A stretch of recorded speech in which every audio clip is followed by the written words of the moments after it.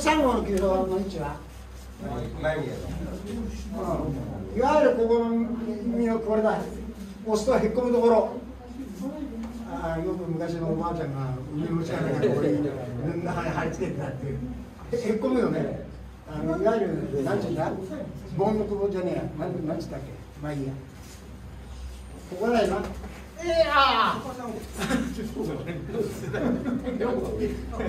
4号は一寸上っていうけど3センチなんだけどまあ4センチ3分。もうやめない。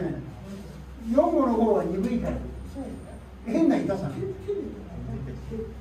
ここ。4号はここ。3号は耳たぶの上の押すとへこむところ。ね。4号はこの斜め上にここここ自分でやっとらん。変な痛さだろ。3号は本当に痛い痛いんだよ。4号はあれだけどまあ痛いけどねそこ3号だよそこは3号。やっぱヘレス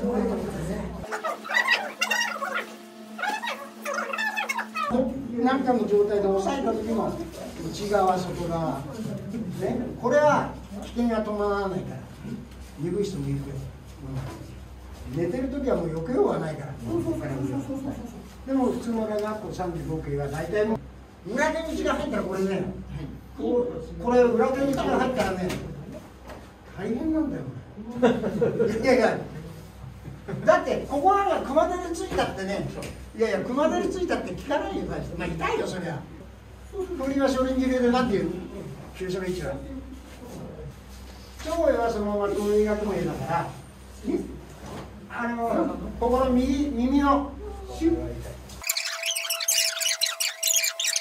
だから長英なんかやる方が倒れやすい正中線はやっぱり後ろに重心で逃げられやすいから。だから横側の方は逃げられやすい。